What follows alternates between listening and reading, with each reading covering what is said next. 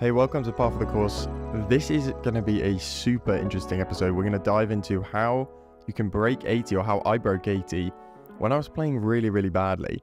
The point of this podcast is kind of in the name. I'm trying to break par. I've never broken par in my life. I've been playing golf for, you know, the best part of 10 years and then really quite a lot, multiple times a week over the last sort of two or three years.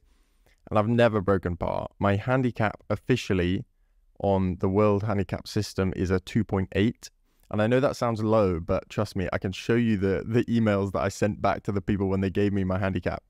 I think I've only shot two over par once in my life. So I was really surprised to get that handicap and I think honestly it's going to go up. Um, but yeah, the aim is to be a scratch golfer. So this podcast is going to help me almost be my therapy as to how I'm going to get down how I'm going to become a scratch golfer, and how I'm going to break par because I've never done it before. I feel like this will also be super helpful for anyone who generally wants to get better at the game and work through some of the issues because we all face similar things, even though it's in slightly different context on the golf course. We all face similar problems as golfers. And so, what I want to do is really talk through how I'm approaching some of the things on the golf course. I've never had lessons, I've never taken golf lessons really in my life. And so everything that I've learned, am learning, and will learn kind of is coming off the internet, off YouTube, people giving me tips when they watch my swing, stuff like that. We can all relate to that. And hopefully, as I've filmed all my rounds and we're going to look through the footage, see what's going wrong, hopefully people in the comments can say, you know, Sammy, you're doing this is wrong with your swing, or maybe this tip will help. That ah, I cannot wait for that. Please do comment if you see something awful with my swing or something that you've struggled with before and now you're getting better at. Let me know because anything will help. Um, and I think if we all kind of work together and work out what's going wrong in our game and what we can improve on, whether that's the mental side, which is massive, especially as you get down in the handicap, I've realized that's something which I've kind of neglected or whether it's just technical and you can work on something better, whether it's your drives, whether it's your wedges, that's going to really help kind of get get me down. But moving on to today's pod, I shot one of the first rounds that I've played this summer. It's summer in the UK and everything's kind of changed. The the ground is getting harder, the greens are getting quicker. And that means you have to kind of approach the course slightly differently, or certainly I found that in in one of the first rounds I played here.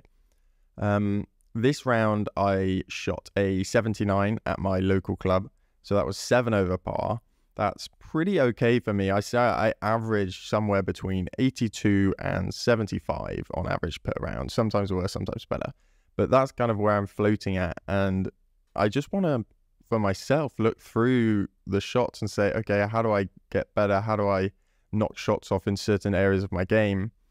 Uh, let's have a look at the scorecard actually, because if you don't do this as well, it I find it really helpful is to have a golf app. It doesn't matter whether you score on the app or not, but just to show you exactly what is happening in your game, where your where your misses, um, how many putts on average. So this was my round the other day. We had 18 holes and shot 79, so that's seven over. Some of the big headlines that we'll get into: um, fairways hit, so it does your driving accuracy Fairways hit percentage was 14.3. um, that is bad, man. That that is that is really bad. So we'll definitely get into that. The driver is obviously a bit of a problem. I recently got a new driver and I'm still working out kinks with that. Greens in regulation hit 44.4%, so still low, but an improvement on the driver. So obviously I, I managed to get it on the green even if I wasn't on the fairway, which is a, a decent sign. We have uh, 5.6% birdies, which is one one birdie, and 5.6% double bogey. So that's one double bogey. So one birdie, one double bogey. That's that's okay. The the main thing for me, I think, um, and especially as you're trying to get down with your handicap, shoot lower scores, is eliminate as many double bogeys as you can. So whether that's getting better at the short game or or not hitting it out of bounds. If you hit it out of bounds and get a two penalty and hitting three off the tee or something like that, that is an automatic kind of um, you, your double bogey percentage obviously goes up massively, so that's something to avoid. Um, scores by par, par fives were five, so there's three par fives on this course. I parred every single one of them, so no birdies, no bogeys. Uh, one of the things that I heard from someone, especially as you're trying to shoot lower, and if you're trying to break par, that's obviously something which is going to be really important. Is is actually going under par on the par fives. So I think for me now, getting par on the par fives um, is pretty much the bare minimum, and that will that will change for you if you're at a different standard a different point in your journey. But for me, that's pretty much the minimum. Minimum, and on par threes, the average was four point zero. So I, I think I, I think I may have bogeyed every single one, which again is not. Yeah, I did, which is which is not brilliant. Um, so that's definitely something I'm looking at the iron play. Every single par five, par three, sorry, was I missed the green. So that's definitely something to look at the approach shots. How can we get better? And the par fours were 4.3, so not awful on the par fours, but yeah, on the par fives, okay, and on the par threes, that's that's where I really let myself down on this round. And the big thing for me this round, which was a massive improvement from before, uh, was putts. So on average, there were 1.8 putts per hole, um, and no three putts, which was yeah. Trust me, if you've if you've known me, and hopefully as you get to know my golf game, you'll know that that is uh, few and far between. So that was a pretty good thing. So that was the round 79 plus seven. Let's get into some of you know how I was feeling before the round, and then look at some of the footage. So this was, like I said before, the first round that I'd done in about a week, a week and a half. So usually I'm playing two to three times a week. And taking a week off, I thought, oh, it's not very long. It's okay. But actually, if you look at me on the first tee, now this this was a 7:30 a.m. tee time. It's lo- I mean, look at that. It's lovely, light. The sun rises at 4 a.m. so you can go out really early. And I felt felt okay going out, but over this ball, I was not confident. Let's just watch what happened on the first tee. Okay, straight into a tree.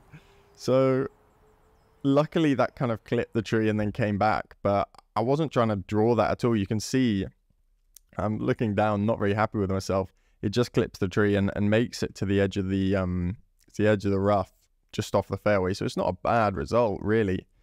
Um, but you can tell that I was a bit rusty there. And so that was definitely something going into the round that I wasn't necessarily expecting, but something that was really prevalent was my golf swing was kind of feeling out of touch. Another thing which I don't do, I don't know if you guys do it. If you're playing on the weekend and you've got the tee time and you're looking forward to it all week, then often you go to the range before your putt before practice. But for me, um, at university, I just finished, so I'm don't really have a schedule at the minute, which is nice to be able to go out and play at, at these times and stuff. But no practice at all. Like no putting before, no swings. This was literally apart from a couple of you know practice swings and loosening the shoulders on the tee. This is that's all the practice I had that morning, and so obviously looking pretty rusty there at the start. Okay, so let's let's go through the big takeaways from the round. We already mentioned it with the numbers was the driving, 14.1% on the fairways, that's not good. Tour average, I think, for the PGA Tour is is over sixty percent, and when you're hitting that many fairways, that gives you a much better chance to obviously get on the green in regulation, and then have two putts for par or one putts for for birdie. And so, for me now, getting fourteen point one percent on the fairways, something has to be wrong, right?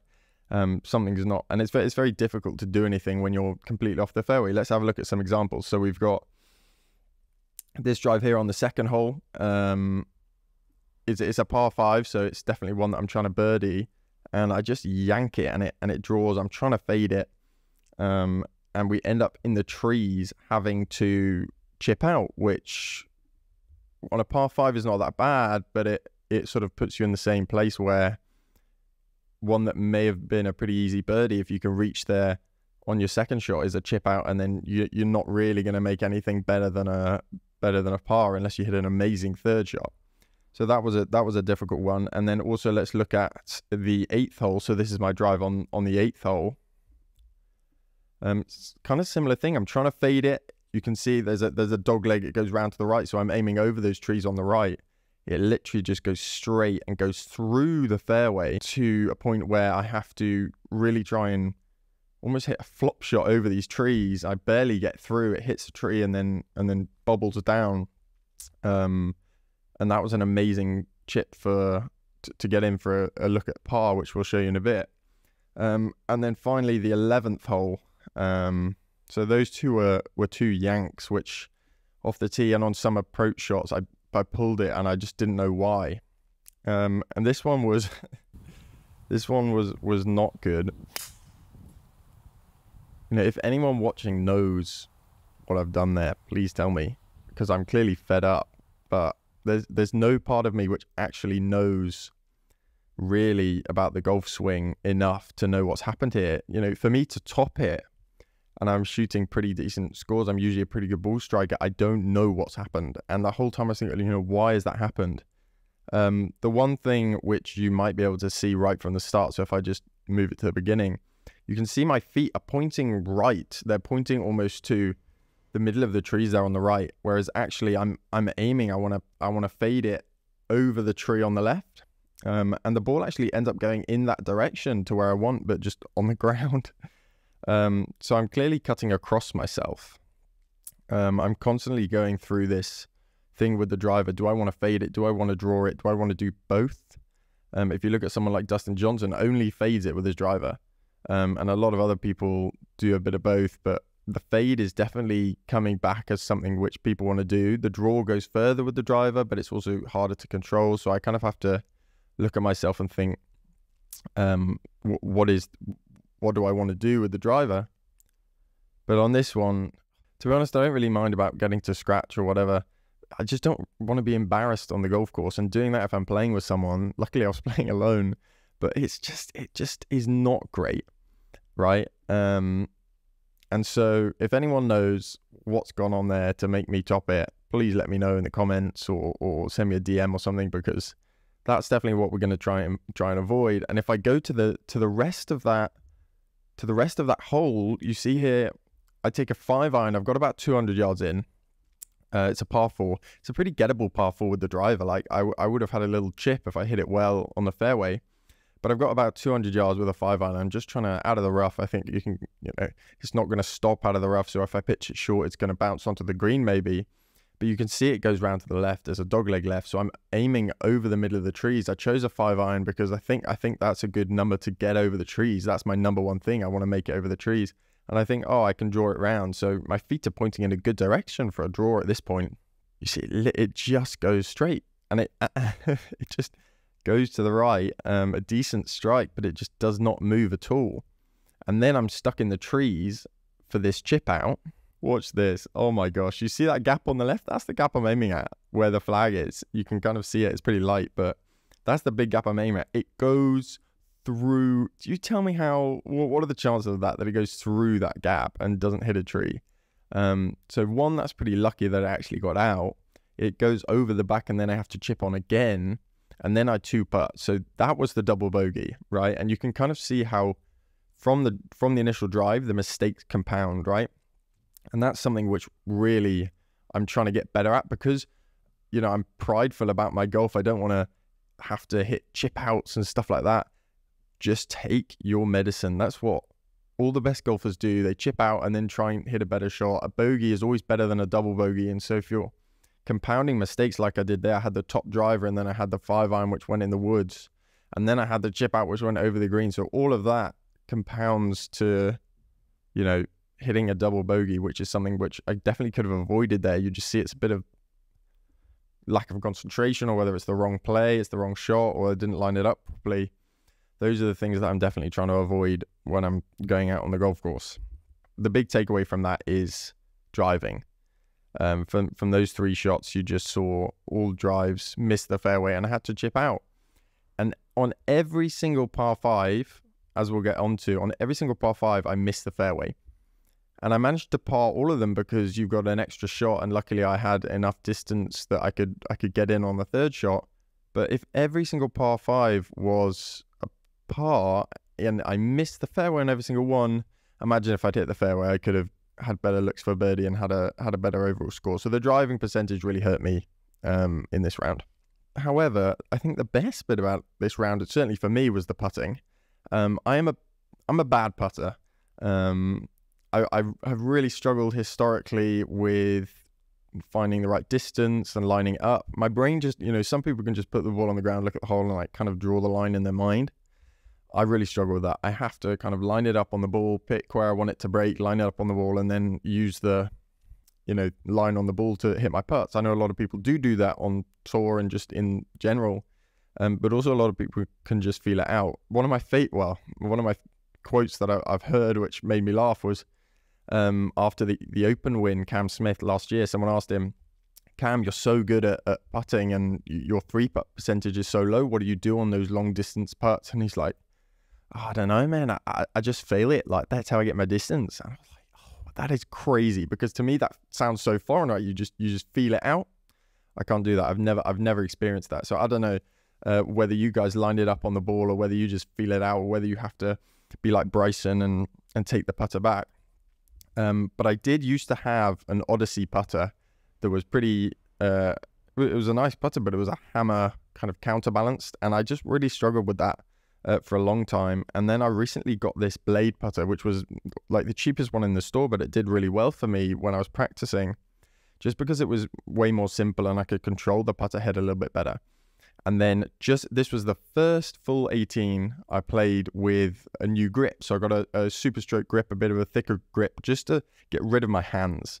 Um, a lot of the tips that I've received from people when they've watched me putt is I'm too handsy, I'm too too much with the wrists. And so that was in order to kind of eliminate that. And you I mean you see the fruit in this um in this round. So let's have a look at some some clutch putts. This was um on the fifth hole and this was a two putt for pass. I needed this was a birdie putt coming up uh, uphill, a pretty long putt as you can see, but those kind of lag putts are something which I've you know, I was slightly interested there for a second.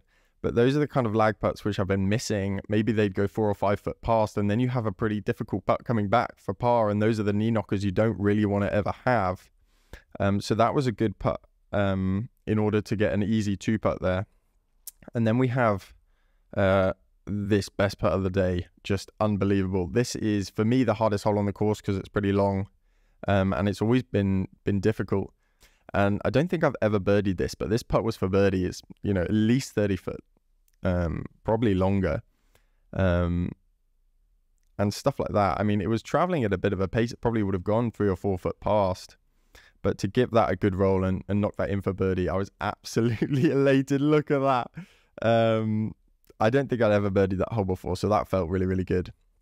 Um, and then the last one was this putt on the 17th, which I want to show you. Um, although I putted pretty well during the day, no three putts, so I can't really complain. I did have putts like this for birdie, which, um, you know, on a different day may have gone in. The the term when your putter gets hot, I've never really experienced before, right?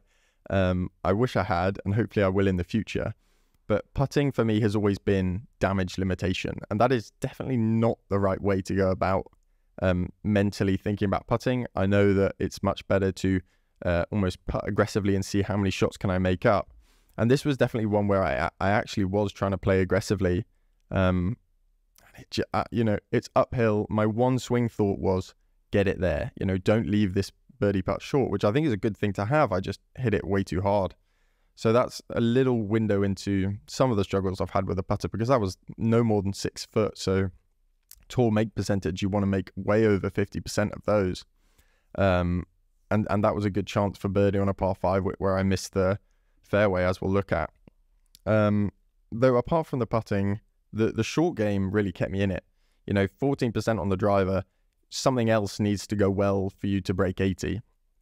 And I think that's the moral here. And the short game, was really one which kept me in it. So let's have a look. This is on the first hole.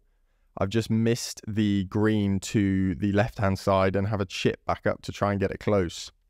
Um, I use my 58 degree a lot, though I use varying clubs around the green. I saw a thing that Tiger said where it's, you know, the, the better chippers use more clubs around the green. So I've really tried to take that in to be part of my ethos and how I'm working it out. If there's a lot of uh, fairway or rough to cover before I get to the green, then I'll usually take a, a higher lofted club, a 58.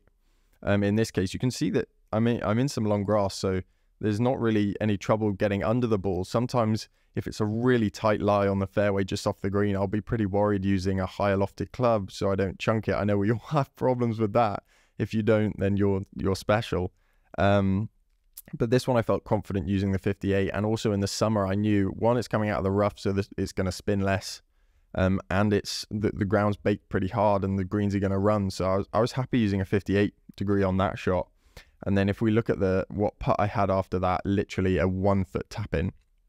So that's where short game really saved me. Let's have a look at another example on the eighth hole. This is probably a, a 30 yard little pitch shot. Again with the 58, this is when I went over the trees uh, that we saw at the start. Just a little clip and runs up to be really, really, really nice. Um, and again, like a, a, a, less than a foot tap in, and that was for par. So two two up and downs there to save par, where you don't even have to worry about putting. Um, that's something which I've largely missed in my game. My short game has never been amazing, and that I've heard from people is one of the big things that really make a difference in getting your score lower is making those up and downs with um, par saves and not getting bogeys on the card. There's a guy on YouTube, Golf Sidekick, who's really good with um, when you're watching someone to break a certain score. If you want to break 100, break 90, break 80, something like that. He um, works on the mental side of the game where a par is great. Like, unless you're a tour pro and you need to make birdies on some holes, a par is great. So every single par save, I'm kind of like pumping my fists and I'm really happy with it. And so in those scenarios with the up and downs there, the short game really kept the momentum going on this round. A couple of times where I thought the wheels maybe if I'd have bogeyed that hole would have come off. The par saves from the up and downs there really made a difference. Okay, let's talk about the par fives. We mentioned them that I was level on the par fives, um, uh, a par on every single one. Uh, we saw the tee shot on two go left on, on the par five, and then I was chipping out of the trees. Let's look at the tee shot on number 12, where pretty much the same thing happened. You're, you're looking to fade it round, and it just goes straight. Uh, ends up going through the fairway. So on the second shot again, I was chipping out and had the same scenarios. It's literally three of the same scenarios on this um, on on all of the par fives. And let's look at 17. 17 slightly different because I used a, a, four iron on this hole. I just wanted to make sure I got in the fairway. Basically, um, you only need 200 and sort of five yards to get to the end. And the irony is, even though I used an iron to try and get on the fairway, I went in the trees. And again, exactly the same scenario. Um, I had to chip out of the trees. Luckily, I could advance it down the fairway. If I couldn't do that, that would have been a nightmare. Um, and I was able to uh, have a decent approach shot in. But with those par fives, I think again, putting yourself in a good position, it's never really going to harm you unless you go out of, out of bounds and a three off the tee. That that's going to be almost an automatic bogey, if not a double bogey. But um, the par fives, you can salvage it, but you really want to take advantage of those par fives. You know, especially as I'm getting down and trying to break par, you you got to go below par on the on the par fives. Okay, the last thing I wanted to touch on with this round was the approach shots. I've had some trouble today or in this round with the approach shots, missing both sides. A lot of people have their one miss, which is, oh, I always fade it a little bit too much, slice it a bit much, or, or I, I thin it a bit. For me, I never have really ever had one big miss, which is okay, but it's it's kind of annoying because it's not like, oh, if I know I'm going to miss, miss right, oh, I'm going to aim left for this one. So it's never like that, which makes it difficult when I'm trying to hit a specific place or I'm not feeling like I'm playing that well, which was the case in this round. So let's have a look at some of the shots on the approaches which I didn't think went well. So this was the 10th hole, uh, a par 3. I had an 8 iron in hand and you can see it just off the tee straight away goes left. Um, and goes left and draws. And so I had a difficult shot from way left of the green to get up and down for par and didn't manage to do it. So that was a shotgun begging. Um, and a lot of them are from the approach shots, and so that that was a pull tug draw. It was just it was just kind of everything went wrong. And it, if you look at it, my this is the this is the only shot I think in the round where my feet are actually aiming in the right position, which is ironic because sometimes when I, I hit a straight shot, my my feet were off to the right, and so you get this kind of um, crossing of the the club path versus the club where, where my feet are going, and so it looks like it's going the wrong way. This is the first time where the feet have gone the right way, but the club is going to the left. So I'm clearly swinging across it, although I, I draw this. So yeah, there, there's a lot of questions going on in this. We know, and if you guys don't know, the, the reason why you draw or fade it is basically the relationship between the club path and the club face. So if you want to draw it, want to go left, then the club face has got to be left of where your club path is going and the opposite for a fade. And so I know that, um, and I, am trying to draw it into this flag, which is maybe problem number one. Maybe I should fade it. Um, and that's a big question I have about a lot of the approach shots. Let's look at another one. So this is uh, hole 15, another par three. Remember, I bogeyed all of the par threes. And so this was the same thing where I think this was a six iron. I had about 180 into the flag. And again, it just pu- pulled, goes left, um, and had a chip and didn't manage to get there. And so I just was pretty fed up with how I was doing. Look at that. Look at my arms are like, yeah, I was aiming here and yet it went like over there. Wasn't that an angle of like 20 degrees different? So clearly wasn't happy with the way I was hitting my irons that day, especially not off the tee. Um, and let's have a look at 16. This is the last approach shot I'm going to show you. This was a 100 and you know 20 yard shot with a with a 50 degree and you can see again a tug and i kind of drop my club and i'm like oh my gosh not a good shot and it ends up being okay right it ends up being on the green and yet that immediate feeling was oh no this is going like this is going to go badly um, and often it's managing expectations like, okay, that ended up on the green. What are you so mad about? But off the face, it really felt like it was going way, way left. So th- that's obviously a problem that I've got to correct because I'm not really sure how to yet. We- we've got to deal with the alignment, right? Let's have a look at that approach shot on the 15th, shall we? Um, you can see my feet are going kind of at the flag again. So again, one of the only ones where the feet are okay, but the, the ball's going left. And then on the drives, you can see Let's look at the second hole. You see how far right my feet are going on this shot. So my, my feet are going way, way right of the fairway, way right. And yet I'm cutting across and pull, tugging, drawing it way, way left in the trees. So that is a massive discrepancy with alignment. If anyone knows really what drills to do specifically for that, um, I've got to get that sorted out. So that I think is going to be my number one aim for the next time hopefully in episode two of this, you'll see my alignment is slightly better because I'm going to try and go to the range. The only thing that I'm thinking now is is what I've got to do is put an alignment stick down at the range, line my feet up with that and hit towards that line. So I'm not trying to draw it, not trying to fade it, but just hitting straight shots, getting everything flowing in a line. And if the ball goes in a certain direction from that, then I'll know that I can correct it either way. So hopefully that will give me a little bit of feedback if I'm hitting it left, if the club face is closed, or if I'm hitting it right. At the minute, I, am expecting it probably to go left. I mean, you can see where the feet are going. The feet are going way right, and the ball is going way left.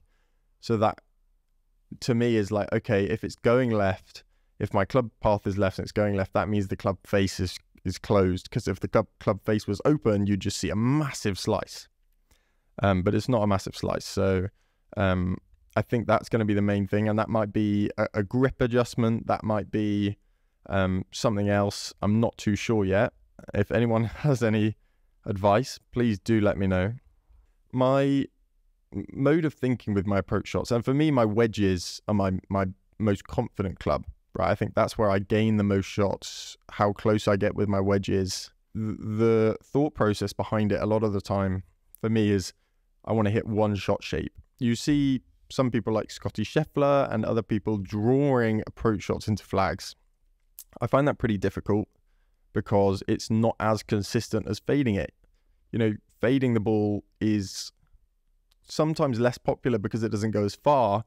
But if you look at the, you know, I'm I'm trying to model myself off good players. For me, Collin Morikawa, who has the best approach numbers in the PGA, he always fades it into flags, and you never really see him draw it. And if he's getting it closed, then I'm going to try and copy him.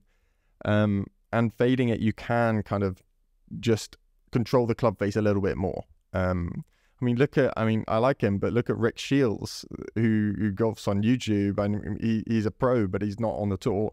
But you see, he draws a lot of his shots.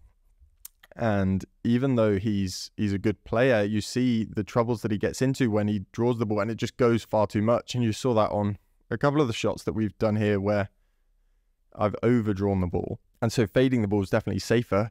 And so if I'm if I'm trying to do that, then I think I've got to stick with that rather than flip flapping between a draw and a fade. Um, sometimes you have to draw the ball. You've got to be able to do that. I've got to have that in my locker. But hitting a fade, you know, Dustin Johnson only hits a fade off the tee, off approach shots, whatever. Um, and he's doing all right. So I think that's that's something which I've got to get in my head a little bit more is that let's let's only hit a fade, let's only hit a draw. But I think I'm definitely going to go for the fade just because of the percentages that you come out with. Okay, here we go. This is a fun segment. We're going to close soon. Um, this first round. I hope you've enjoyed. I have no idea how this is going to come out, but for me, it's just good to talk about the problems that we all face on the golf course and look at the specifics of actually what I'm doing on on the film. Um, and it's kind of weird to watch your own golf swing. Sometimes I have people behind me with a phone, but having you know bringing the camera out and actually dissecting it, looking at the angles, it's pretty interesting. It's pretty humbling as well because I realized that actually, you know, I had no idea that my feet were pointing right and I was hitting left and I was doing this crisscross. But it's um it's good to see it and it's good to kind of work through the problems. Th- these are going to be the, the awards for the round. So I'm going to give awards for loads of different things. First of all, we have drive of the day. This was on the fifth hole, and this was the first drive which I felt like went all right. I was trying to fade this down the down the middle, just let it come back.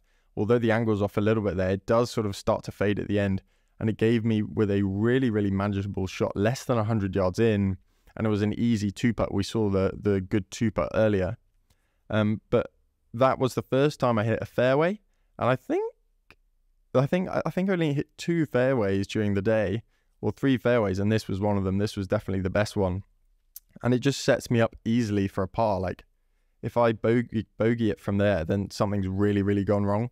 So the drive sets you up. I always think you're going to be happier if you have a good driving day um, than if you have like a really good approach day or a really good putting day. That hitting a good drive fills you with so much energy for the rest of the round. And so that that was a good one to get away on the fifth hole. So that's drive of the day. Then we have best approach shot of the day. This was on the 17th. So we saw I hit my four iron right into the trees, managed to chip out down the fairway.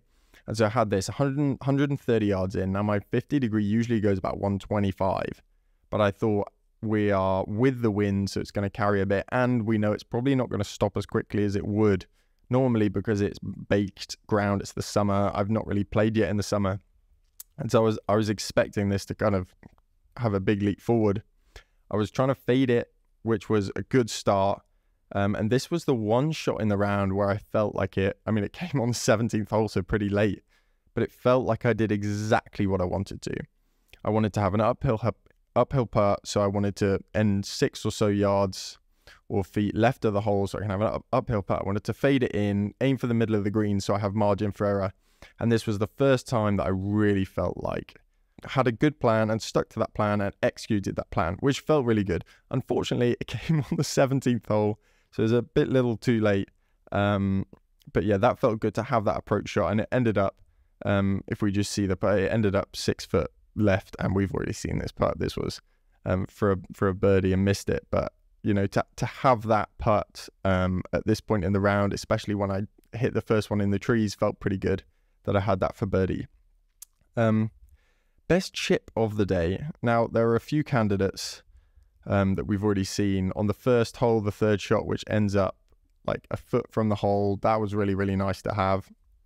Um, but I think for me, it's got to be this 30 yard little pitch up the hill to give me a foot for par on the eighth hole. And that was pretty special because I was I was in a really, really sticky situation after that drive and there was you know percentage wise on that uphill i couldn't i couldn't actually see the the the ground where the flag i could see the flag but not where the flag hit the ground. So it was kind of a blind shot. I knew i had to open it up. And one thing for me is when i'm when i'm trying to hit it high i always think i finish with my hands high. Um, that's what tiger said. You you'll notice a lot of these kind of ideas and processes i go through in my head i've just heard from pros and i'm trying to implement in my game. I've got no idea whether they'll work for me or not. I'm just trying it. But he always says finish high when you're trying to hit it high. And so on that one I do and it goes up and just stops a foot from the hole. So that really I couldn't ask any more from that. That that takes it for best chip of the day. Best putt of the day we've already seen. I couldn't hold back on this one. 14th. Never birdied this hole before. 30 plus foot. Rolls it in with, with the arm up. He already starts walking halfway down. Now, that is not because I know it's going in. That's because I just want to get to the ball quicker. Um, but the arm goes up. oh, how good does that feel, man? Um, and best overall shot of the day, that has to be the best overall shot of the day, right? I mean, percentages of that are so low. That's never really happened to me before. I'm not, you know, I don't hold putts. Um, but this was the first time with this new grip. I felt like, oh my, like this is going to be a good ride with this putter. Um, I was, I was unbelievably happy with that one. Um, and that was the only birdie of the day. So to put it on that, on that putt was definitely best overall shot of the day. Okay, this next segment um, is best freak out. I am a very competitive person, especially on the golf course, even when I'm playing with myself. Um, and I kind of wear my heart on my sleeve when I'm playing any sport, and golf is no different. And I and I, I, tend to get annoyed sometimes when I when I'm not playing that well. Um, I don't you know shout or stuff like that, but Let's have a look at what happens on the seventh hole. This is a par three, and we know I bogeyed this hole because I bogeyed all the par threes. But this was 125 yards to the flag. Now, wind with, and we know from that 17th hole when I had 130 yards, I used my 50 degree, I used my 50 degree here. I kind of expect to carry this at least 125, especially with the wind. I don't mind if I go a bit far, but it's about 123 or so to carry that bunker. And so that that is where I'm aiming. You can see for the first time my feet are actually in a good position to fade the ball. So um, maybe that's a lesson for future in terms of where my alignment's going versus where I'm hitting it. But let's have a look at what happens here. And it, and you can see the ball, even though there's a tracer, you could see it without a tracer. it's looking like a toddler who's been told he can't have any sweets or has to go to bed. Both feet come off the ground. Um, really not happy because I was like, for sure in the air, for sure it was going to carry the bunker, for sure it was in play, like hole in one on the cards kind of thing. Because um, it wasn't a bad strike, but that's why it's surprised. Like it was more out of surprise that it hit the lip of the bunker and then came back. I had a bunker shot and didn't get up and down. So there was the bogey. So that was pretty annoying. Um, that that I think was potentially the best freak out of the day, or the 16th where we we've already seen it where um I tug it left and then end up really not happy when it goes and that was a that was a freak out mid shot. That was a drop of the club and a and an unbelievable catch behind the back. I'm sorry, but that is um I've got to be proud of that even though the shot wasn't amazing. I wasn't happy with it, but um, yeah, that was a funny one. But I think the the the award of best freak out definitely goes to the seventh hole um, tee shot, acting like a toddler. The next one is most stupid play. There's a lot of times in a round where I'm just not thinking, um, and this is one of them. The eleventh hole. Um, although you can drive this, um, I don't think it's a driver now. Like I'm pretty sure that even if even if if I hit a three wood, if I hit a four iron, five iron, anything to get up there, I'm going to have less than 150 yards in, especially with it rolling um, as it does in the summer. But I think, oh no, I'm going to drive the green. I'm going to get this. It is diff. I had not been drawing the ball with the driver well all all day. I'm trying to fade it with the driver, and so just everything, almost a comedy of errors, goes wrong, and I top it. We've seen it. Just not happy. So that I think was my most stupid play of the day. Not playing with the percentages at all. Um, and then lastly, most clutch play. Um, the the eighth hole we've we've seen that got best chip of the day, just the forty yard uphill chip. Just that that was pretty clutch to get up and down for par to keep the momentum going. Um, otherwise, that would have been two bogeys in a row, and who knows what would have happened after that. Or this on the ninth hole, it's a drive. There's a par five, and I'm looking to aim basically over that tree that you can see just to the right go over there and fade it round. There's another bunch of trees behind this tree that you can see on the right. Um, but it doesn't do that. It does what I did quite a lot this day, even though it was a really good strike. Look, you can see me. I'm just like get over to the right. But the clutch play was not from me. It was from the tree. Um, and the tree kicks the ball back into a ground under repair, so I could just take it back and place it just behind the ground under repair. And I've got a lovely uh, four iron to to get close and maybe get on, but I end up just going right and then have an easy chip on for green and regulation and then a two putt for par. So that was um that that was the clutch play of the day, I think, from the tree, not from me. Um, but there we go. That's the round. 79 plus seven. This was the first episode of Par for the Course. We are trying to break par. And hopefully, some of this thinking through I think that the number one takeaway for me is that alignment with the driver. But even though I was playing bad, even though I didn't hit any fairways, the fact that I still got this number was pretty good to me, and it um, it meant that a couple of other things had to go right. We saw the putting went well. We saw the short game went well. So I'm happy with those. Not happy with the driver. Hopefully, next time I go out and film, we can get the alignment right, get the driver going right, and then see what happens. Because you know, you never know when I, I'm. I feel in the game when I've when I've got 130 to like 80 yards out with a wedge. I feel like I'm in the game to uh, to make some birdies. I think generally I'm not a birdie player. Like I don't get a load of birdies. Um, I'm I'm pretty solid. So when I'm when I'm hitting pars, I feel good. Um, but I think the danger is that you kind of get all bogeys because one shot goes wrong. To be honest, I'm not really sure, but we shall see. This was the first episode of Par for the Course. I hope you enjoyed. Let me know. DM me um, all, all, your takes about my swing, how bad it is. Send me your swings because um, hopefully I can learn something, and also how you'd kind of assess this round. I, I'd probably give it a B minus because although I was playing badly, I still managed to like get a good score. So the first grade for Par for the Course round one is going to be a B minus. Hopefully we can improve that. We're going to have to get an A plus plus plus plus to break par because I've never done it. Um, I think, think a lot of things have got to go right, but there's also got to be a, an improvement technically in the swing for me to break par. So my immediate plan is driver and alignment, get that sorted. Hopefully we'll be back on and breaking par very soon. See you later.